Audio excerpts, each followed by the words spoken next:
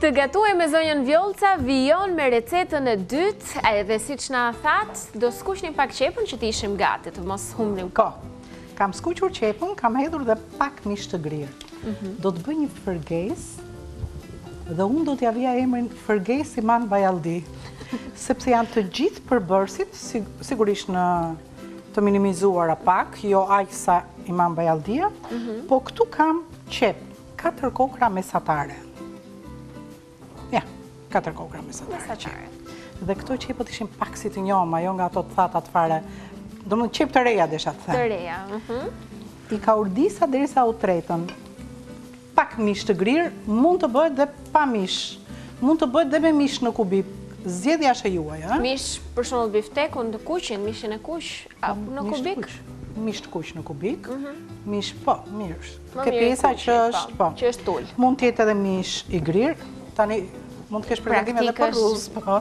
Një mish i mirë. S'ka problem, edhe në qoftë se është një pjesë tjetër e kofshës, e lëmë, E lëmë një çikë më tepër që që të ziejë.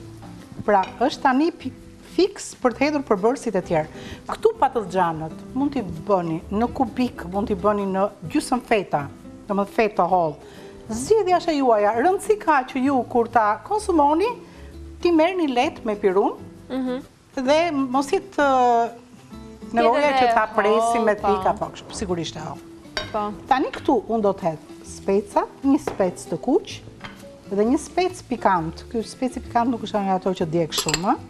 Mhm. Tani se unë e kam ulur pak temperaturën. Dhe i kaurdisim së bashku të dyja. Jo, që speci të gatuhet shumë, Se pastaj na del lëkura e nuk më pëlqen ajo pjesa ashtu. E, nuk është as e lehtë kur konsumohet. I hedh edhe hudhra, që unë vetëm i kam prerë për së gjati. Po sa hudhra janë, të shumë? Gjysmë koke hudhra, po imam bajalldia... E pranon, në? Po e pranon. Po. Ta marrë. Disa e shishme që jo s'ka problem, ja. T'i mbarojmë të gjitha pastaj. Që mos lodhesh ti duke bërë rrugë deri po, ke lëvë mama. Po, mos të bëj xhiro dhe të thonë njerëzit, ngeli brapa zonjës Vjollcë kjo. Ike, hajde. Ja. Këtu kam zier dhe një tavë tjetër, po. sepse kur të bëj këtë kimën, që mund të jetë me mish, pa mish, me mish të grirë, pa mish të grirë, mund të jetë dhe me mish në kutia, po jo sasi mishi, 400 gramë, gjysmë kile, 200 gramë, Dyqind gramë është mjaftueshëm nëse do të vendosni. Këtu pastaj mbasi të bëhet kima, do t'i alternoj një rresht patëllxhan, një rresht kimë, do t'i hedh edhe një gjysmë gote ujë, do ta lë që të ziejë ashtu si i themi ne në yndyrën e vet. Po. Ah si bëhet kjo me çapa. Shumë e mirë, edhe shumë praktike o zonja Vjollca që na e bëre kështu në tigan këtë recetë. Po, po në tigan, në tigan, do bëjmë edhe imam bajon, po këto është, prandaj unë se vura atë imam bajon, I vure pak emër fërges. Ideja ime që them, fërges imam bajalldi, po ne shqiptarëve na pëlqen shumë fërges. Shumë të mira. Tani do të hedh domaten, kryesisht tulin e domates. Në fakt më përpara këtu do të hidhja dhe pak fare pure domate për hir të së vërtetës. para domates. Kështu po që kemi një shishe në frigorifer. Ta marr këtu? Po. Po, ta sjell.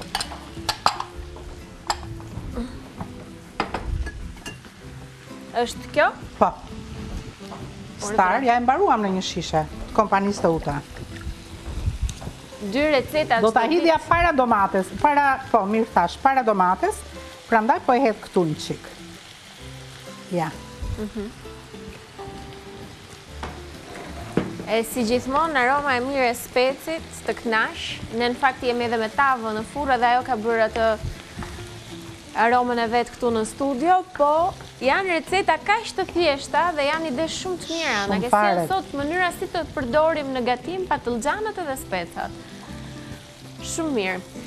Ëm A mund të flas pak për tre llojet e tjera të orizit të kompanisë Teuta, të cilat ju thashë, ju premtova që në pjesën e dytë të programit do të ndalemi tek tre të tjerat. Janë të paketuara në vakum, një nga gjërat më të rëndësishme kryefjalë të këtyre produkteve. ju i shikoni këtu në shportë, po pa diskutim ka mbi 150 lloje produktesh nga kompania Teuta dhe tek orizi, ajo çka ishte e veçantë pra vakumi, është sepse ruan freskinë, cilësinë e ushqimit dhe e mbron atë nga insektet, nga le të themi mikroorganizmat e dëmshëm. Kështu që jeni të sigurt kur e bëni këtë blerje, jeni të sigurt të qetë që keni marrë një produkt të pastër. Atëherë, do t'ju tregoj tre llojet e tjera që janë orizi gold basmati, i cili ndryshe konsiderohet si mbretëresha e aromës. Ka një shije delikate, gjatë kohës së zierjes kokrrat ruajnë fortësinë e tyre dhe në të njëjtën kohë ka një veti që ka një fryrje le të themi dy herë më shumë të përmasës së kokrrës së orizit, gjë që bën edhe të kemi atë ndjesinë e ngopjes dhe është shumë i mirë për ata të cilët po mbajnë dietë dhe në dietën e tyre kanë Orizin. Zgjidhni pikërisht këtë Orizin Gold Basmati. Ndërkohë do të ndalem tek Jasmin, i cili e ka këtë emër si lulja e bukur e jasminit që është e bardhë, pikërisht për shkak të bardhësisë, pastërtisë së orizit. Oriz Gold Jasmin. Ka një shije speciale dhe aromë të parezistueshme. Është shumë e mirë për t'u shoqëruar me të skuqura, me patate të skuqura, perime të skuqura, me peshk. Këto janë sugjerimet që vijnë sa i përket kombinimit që mund të bëni me orizin Gold Jasmin. Dhe i fundit ka mbetur orizi Gold i zi. Ai që është shumë i veçantë, është një lloj orizi integral, i cili është i rrallë dhe shumë shumë i shëndetshëm, sepse ka hekur Për të gjithë ata që duan që në dietën e tyre ushqimore të kenë përmbajtje të lartë hekuri. Ky është sugjerimi që ju vjen. Dhe e fundit fare që mund të them për orizin gold është që në secilin prej paketimeve ju keni një recetë, një ide fantastike nga kompania Teuta që nëse nuk dini se si ta gatuani e keni të shkruar të gjithë procedurën aty dhe mund të bëni një recetë shumë të shijshme. Kemi përgatitur... Po të lumtë goja. Faleminderit. Të gjithë ata që kanë dëgjuar tani, janë gati të gatuajnë oriz. Faleminderit. Dhe disa prej tyre, përjashto orizin që është për risotto, mhm. mund të prefer, mund të gatuajnë sipas preferencave tuaja. Dhe të ngrohta, pjata të ngrohta dhe pjata të ftohta. Po, e vërtetë. Tani mua më dhe kohë që domatja të kalonte gjysmën e kohës së gatimit dhe unë do filloj të të bëj këto shtresat që thashë. E ka thithur lëngun domatja, kështu që unë do t'i hedh ujë në një kohë tjetër. Ja. Vë këtu një shtresë me me kimë. Ju e bëni si doni, ha? Mund të kombinojnë në mënyra të ndryshme. Bravo. Tani do të marr dhe do të hedh pak një shtresë me patëllxhan. Patëllxhanët janë të skuqur përpara. Po, i kam kaluar pak fare. Po dhe mund mos t'i kaloni, ha? Nuk ka i lëm një kohë më të gjatë për t'u gatuar edhe mund mos t'i kalojnë. Ja. Një shtresë me patëllxhan. Mhm. E mbulojmë këtë shtresën me patëllxhan, përsëri me domate. Më bëj gati një, një gotë, po? ose një filxhan më mirë të them, mhm. me ujë të nxehtë. Në rregull. Tani këtej nga mesi, do të hedh dhe pak, pak fare majdanoz. është një recetë me një kosto minimale, por që shijen e ka maksimale. Ja, hedh tani pjesën e patëllxhanëve të mbetur, Këto hudhrat, majdanozi, po provojni njëherë për hatrin tuaj, se thashë patëllxhanët edhe mund të mos t'i kaloni në skuqje. Unë i kalova sepse unë e kam kohën shumë të reduktuar këtu. Domethënë unë, për 20 minuta duhet të përfundoj gjithçka.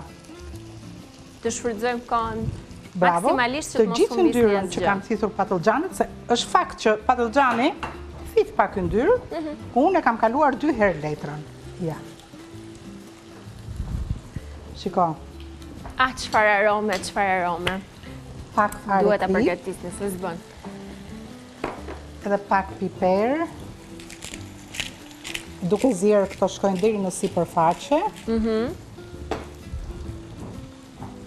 Edhe pak kështu, pastaj hedhim majdanoz, prapë.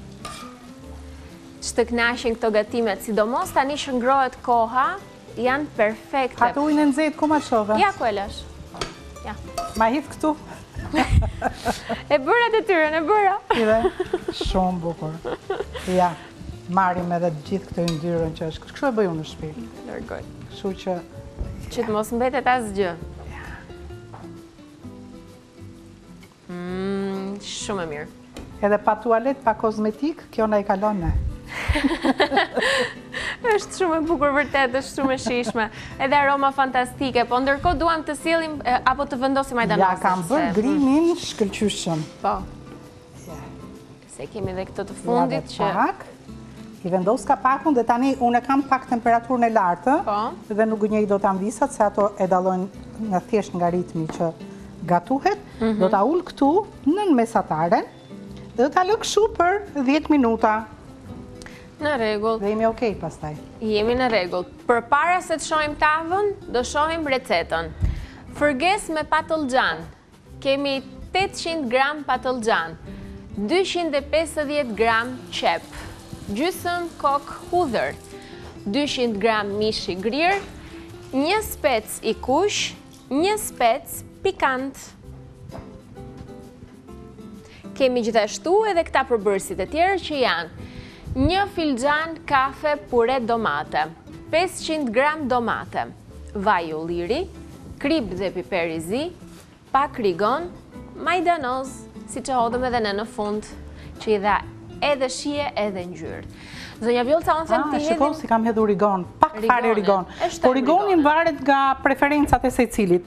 Dikush e pëlqen, Dikush nuk e pëlqen rigonin, kështu që ju bëni zgjedhjen që keni.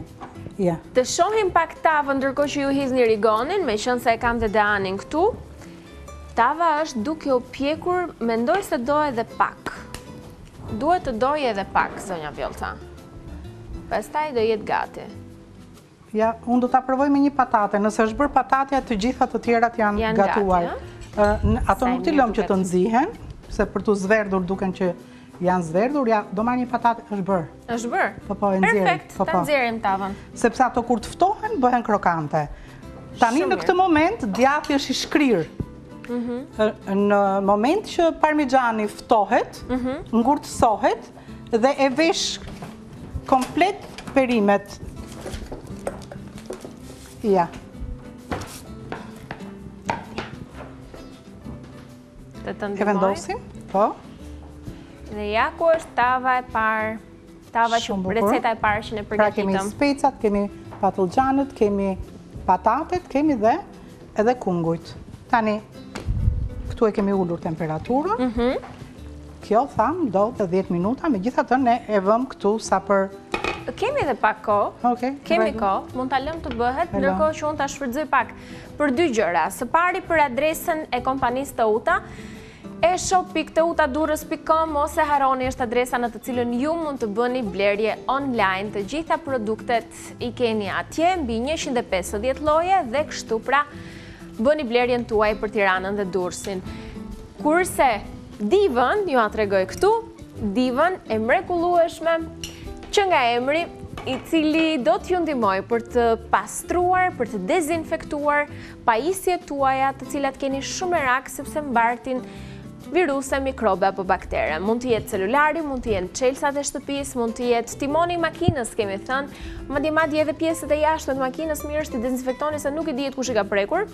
Ëm mund të jetë tastiera e kompjuterit në ambientin e punës, tavolina e punës. Jo, me vetëm me një sprucim, gjë që e bën shumë të lehtë vetë produkti Diva, Njëzet centimetër larg, lëreni të veprojë për 3 minuta dhe e keni të dezinfektuar sepse vret 99.9% të viruseve, baktereve dhe mikrobeve. Është ky produkti që ju ndihmon dhe unë gjithmonë e shfrytëzoj rastin ta sprucoj. Kaq ishte, do ta lë të veprojë tek telefoni dhe më pas e kam gati për ta përdorur pa merak. Veçanërisht kur kthehemi në shtëpi që është procedura e zakonshme tani më. Po e vendos divën në vend. Ja ku është. Tava duket super. Provoj një patate, pirun po. e ke pastër. Ja ta provoj këtu. Qenka pjekur vërtet perfekt. Po ti mendon se unë guxoj, mos të të vërtetëm. Të pra nga bimi.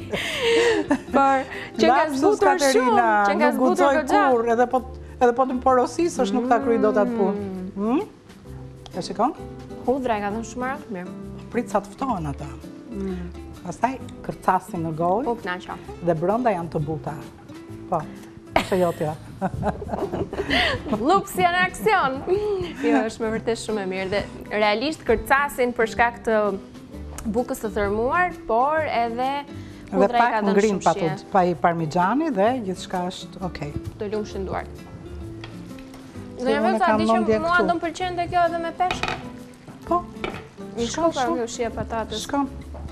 Më shkon mendja te peshku tani dhe Shkon. Kur ta shoqërojmë që është një nga gjërat që themi peshkun me çfarë ta shoqërosh se po. nuk është se të ngop.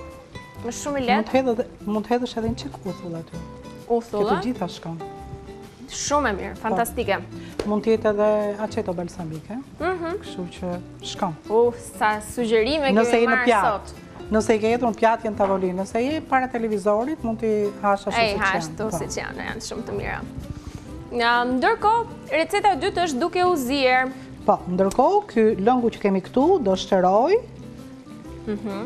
do jetë nën perimet, dhe atëherë ne Themi që e kemi mbaruar fërgesën. Në këtë ritëm, do do të vazhdojë zierjen dhe 7 minuta të tjera se 3 minuta kaluan.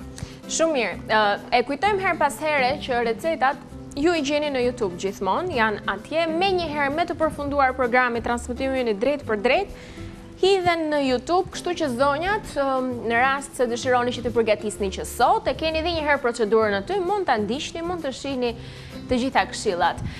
Um, keni vendosur recetën e parë në ekran, kështu që është mirë ta lexojmë në rast se dëshironi që t'i përgatisni sot, perime krokante në furrë. Atëherë, çfarë do t'ju duhet për këto?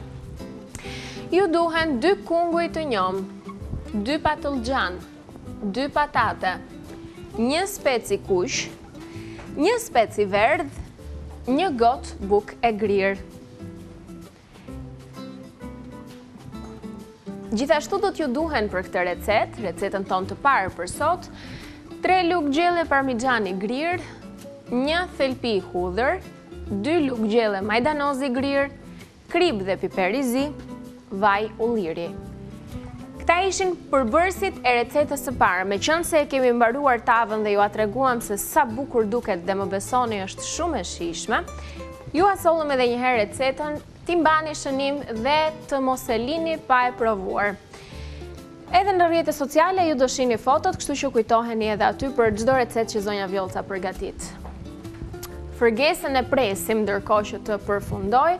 Një ide shumë e mirë si ato gjellët e verës që bëjnë mamatë zakonisht. Madje dhe për ditën e sot që me jeni në kohë. Po, po. apo si ishte sot koha me një diell. Ashtu, e? Më ka pëlqyër shumë, ishte një qiell i pas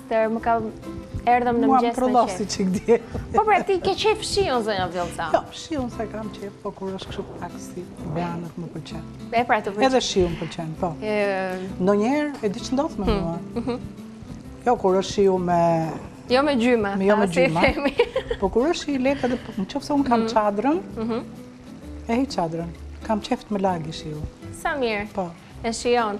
Unë sa herë bie shiu më kujtohet një këngëtar shqiptar që i këndon shiut. Redoni. Po. Ai është artisti që edhe them kush e di sa frymëzohet ai sa herë bie shiu. Ka shumë këngëtarë që kanë kënduar shiut që në vitet 60, kështu që. E shiu pik pik pik. Bravo. Kemi recetën numër 2 në ekran, le ta lexojmë për të gjitha amvisat tona. Fërgesë me patëllxhan. Për këtë do t'ju duhen tetëqind gram patëllxhan, dyqind e pesëdhjetë gram qepë, gjysmë koke hudhër, dyqind gram mish i grirë, një spec i kuq, një spec pikant.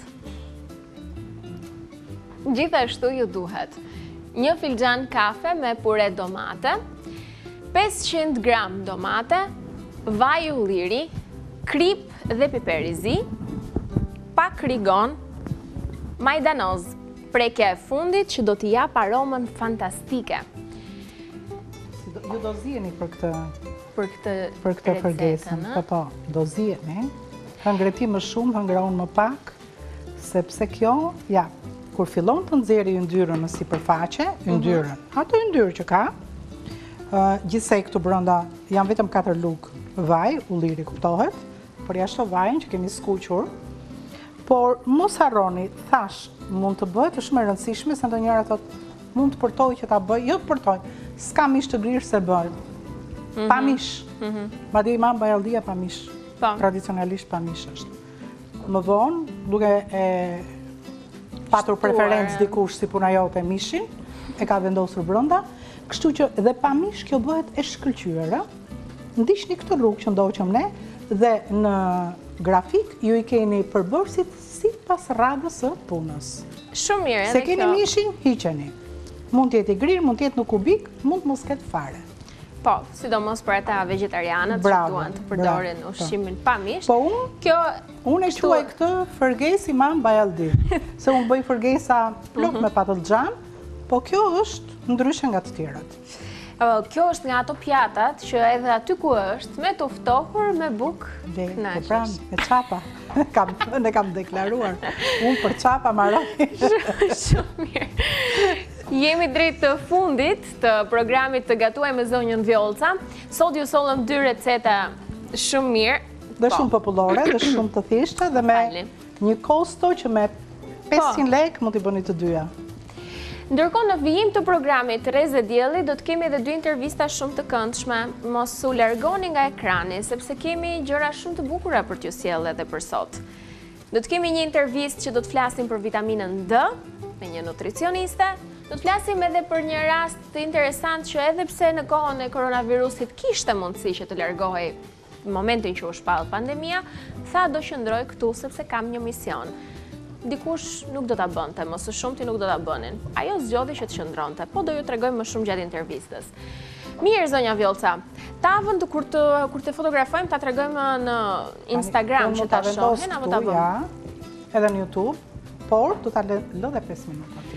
Dhe ja tek erdhëm në fund. Faleminderit shumë, Zonja Vjollca. Faleminderit dhe ty dhe bashkë mirupafshim këtu nesër në orën nëntë. Shihemi nesër në orën nëntë, sërish Të gatuajmë me Zonjën Vjollca.